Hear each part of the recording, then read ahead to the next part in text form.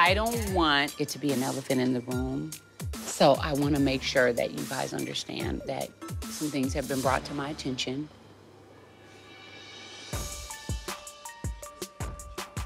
Based on the fact that I'm nosy as I decided me and Shaunie should stay at the door and listen to hear what they were going to actually be talking about.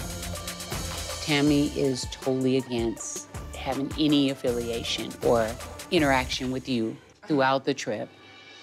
She has threatened to not only leave, but asked to be very angry with me if you guys are to interact or cross paths. When did you find that out? Just now, like a couple hours ago. So Why would you mess up the trip like that, though? I thought it would be okay. You know what I mean? Because I want all of you guys here. You're all my friends. So I did invite you. And so my are you thing- going to listen to that and you're going to go by that? How about we just try this for, uh, like, won't you try the fact, like, get us together and then keep them, That's let's what see how I want to do, Brandi. And I love what you're saying right now. Malaysia also I- spoke out and yes. tried to say the same thing. She And I is not yeah. feeling it. I just really wish that she'll just put her, I don't know if it's anger, pride, or her wants to the side for you, for a girls trip, and just have fun. I do appreciate this advice that I'm being given. Great, love that. Thank you, Brandi. I feel like it's not even a big deal. Like there's some things that she can come to that Tami will stay behind, and On some things that trip, she. that's whack. I mean, it is whack, but it's the it's the situation that we're dealing with. But I feel like we've all been in situations where we've been in a room with somebody we don't like as this group.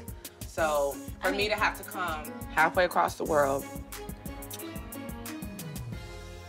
Don't cry, Duffey, because now you're gonna make me cry. I missed my son's graduation today.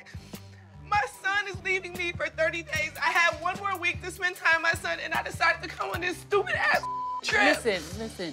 When I could have spent more time with my son. That's why I'm upset right now. Listen. I would have stayed for my kid graduation, and then I would have came after because I, don't. I really here. don't think Well, that this now is a it's crying moment. and I'm here, and I, really did that don't. for you. I know, I appreciated Duffey, I it. know, and, And I now I feel her. really, I feel No. really stupid No, for I even don't- being here.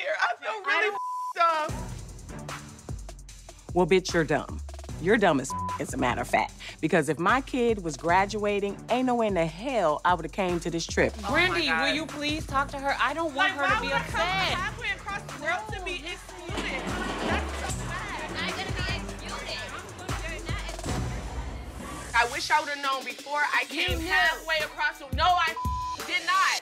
I would have known I was walking to a situation that somebody said, "Hey, you could do half of the stuff with us and half. You can't," I would not be here